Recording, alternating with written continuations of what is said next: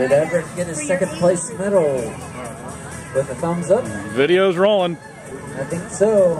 576. Julie, halfway there, 924. You are done. Hey, there's Andie. Woo!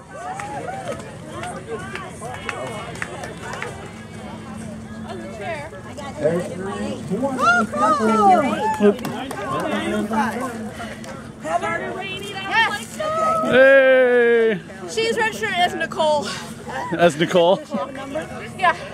Nine oh six. Nine oh six. Nine oh six. How you doing? Wet. Wet? yeah. Hey, Andie. Injured, so I pushed her instead. I'm behind the hood. Hey! Talk about teamwork. You guys. Yeah. These too. That's kind of funny.